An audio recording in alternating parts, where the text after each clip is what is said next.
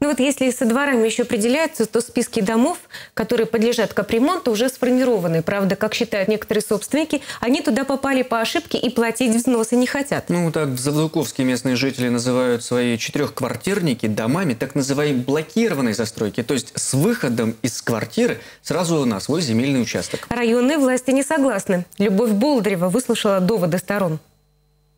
Те же, те же самые, они уже меня уже все наизусть знают. Они уже просто, как, не знаю, как подруги звонят, наверное. Друзьями по несчастью Галина Александровна и соседи стали с тех пор, как стартовала программа капремонта. Их коттеджи тоже попали в список. Все дело в официальном статусе. На бумаге черным по белому четырехквартирный дом, а значит подлежит капремонту. Но жильцы против и стали писать главе администрации и в разные инстанции о смене статуса на дома блокированной застройки. Отрицательный ответ согласно жилищному кодексу, что ты-ты-ты-ты-ты мы, то есть все должны платить.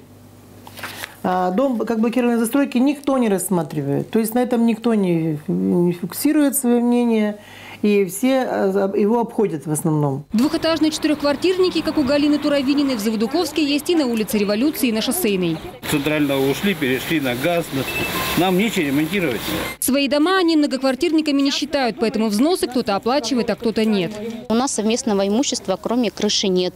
У нас отдельный вход, у нас э, в собственности наша земля. Мы через э, территорию соседей не проходим, то есть полностью как частные дома. Замглавы администрации округа рассказывает, квадрохаусы или по-простому четырехквартирники есть в Заводуковске, поселке Комсомольском, селах Падун и Новая Заимка. Еще в 2015-м часть из них убрали из программы, а те, что остались, по мнению чиновника, не подходят под категорию домов блокированной застройки. Нет такого поменять статус, нет такой комиссии. Мы ничего не придумываем, мы действуем на основании того законодательства, которое сегодня вот нам предписывает.